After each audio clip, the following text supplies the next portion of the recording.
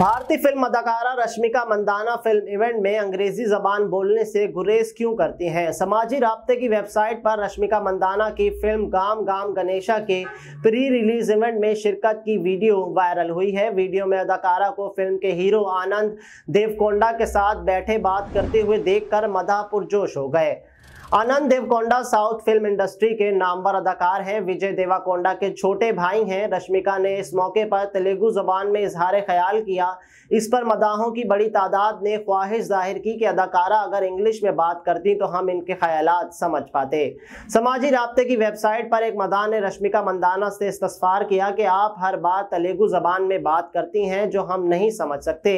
आपको मालूम होना चाहिए कि आपके मदा मुल्क के दीगर हिस्सों में भी रहते हैं, जो आपको को सुनना चाहते हैं, मगर आप अंग्रेज़ी में बात करेंगी तो ज़्यादा लोग समझ सकेंगे।